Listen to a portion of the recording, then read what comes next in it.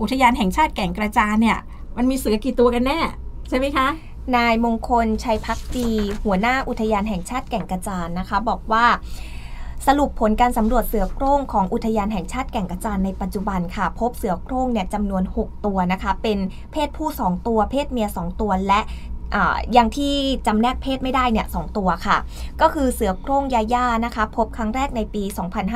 2556 ถึง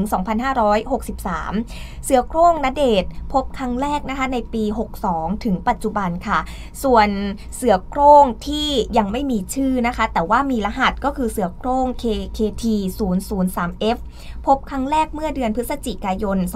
2566 ทีเนี้ยถึงปัจจุบัน ใช่ เสือโคร่งตัวที่ 4 เนี่ย ก็ยังไม่มีชื่อเหมือนกัน รหัสค่ะของเขาก็จะเป็น 004 ค่ะนะคะ พบครั้งแรกเนี่ยเดือนธันวาคม ปีที่แล้วจนถึงปัจจุบัน แล้วก็เสือโคร่งตัวที่ 5 เนี่ย รหัสของเขาคือ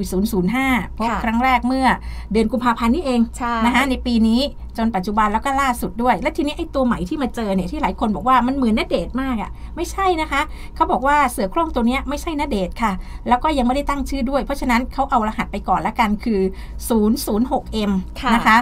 ก็พบในเดือนมีนาคมจนถึงปัจจุบัน แล้วผลเปรียบเทียบฐานข้อมูลเสือโคร่งตัวเนี้ยนะคะที่กล้องดักถ่ายบริเวณ ต้นน้ำเพชรบุรีเนี่ยเขาบอกว่ามันเป็นเสือตัวใหม่อืมอ่านะคะค่ะเพราะฉะนั้นยืนยันก็มีเท่านี้ละค่ะนะก็จะได้ไม่ต้อง